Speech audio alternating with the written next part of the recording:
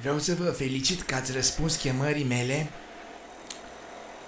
și uh, dacă n-ați știut până acum, să știți că sunt, sunt, sunteți deosebiți față de restul lumii.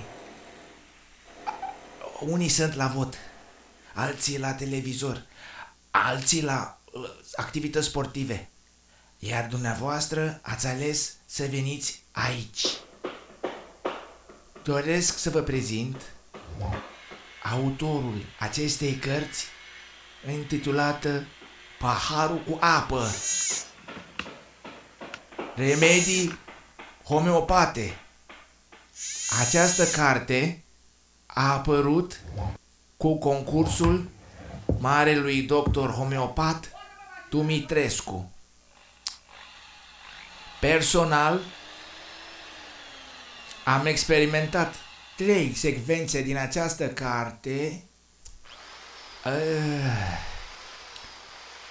durerea de genunchi, care în medicina alopată științifică se numește gonartroză. Am scris cererea mea către univers, am pus-o sub acest pahar cu apă. Apă? Universul uh, nu, nu a citit-o. Și atunci am intrat în, în impas. Mi-am pus întrebări. De ce n-a citit cererea? Nopți la rând, de unul singur, am căutat răspunsul.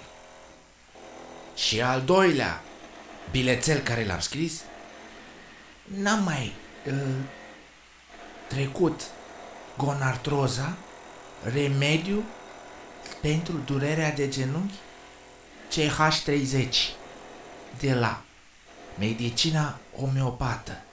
Universul l-a citit. Am băut cele două, trei înghițituri de apă și de atunci durerile de la denunci au dispărut. Ca și când n-aș mai fi avut, n-ați avea picioare. Aceasta este cartea domnului Mihai Ionescu cu concursul medicului care l-a drumat homeopat. Nu mă voi referi la conținutul și experiențele făcute de autor. Cartea nu se nu putem prezenta ca o carte științifică. Este o carte scrisă simplu la îndemâna fiecăruia care o poate experimenta. E extraordinar de interesant să te vindeci fără medic și fără medicamente pe propria ta. Cartea ne deschide un nou orizont. Orizontul către cunoaștere. La ora actuală sunt foarte multe manifestări sociale, criză industrială, criză politică, criză, criza foamei. Această carte nu rezolvă criza de foame la burtă, foamea de cunoaștere. Ne-a unit cu Universul, ne-a unit cu Dumnezeu. Suntem capabili să ne folosim propriile noastre informații. Adică subconștientul nostru are totul despre noi, dar nu știm să le folosim. Și acum a venit momentul, prin această carte, să ne folosim uh, creierul nostru subconștient pentru vindecare. Paharul cu apă. Apa este un, este un medicamentul primordial lăsat de Dumnezeu pe Terra. Apa are memoria miliardelor de ani. Apa este culegătoare de informații.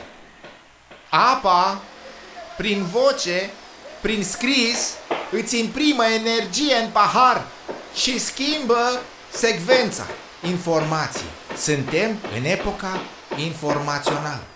Noi, din lipsă de informații, nu putem să ne dezvoltăm intelectul. Iată că am primit momentul.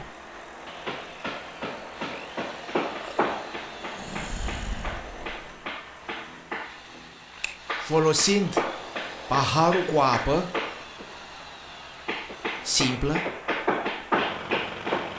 sub care pe fundul paharului punem acest bilețel și facem cererea către univers și o aplicăm sub pahar. În nomenclatura medicinei uh, homeopate ne-o citește. Orice boală de pe corpul nostru se va vindeca. Unde-i doctorul? Unde-s medicamentele? La noi. Vă mulțumesc.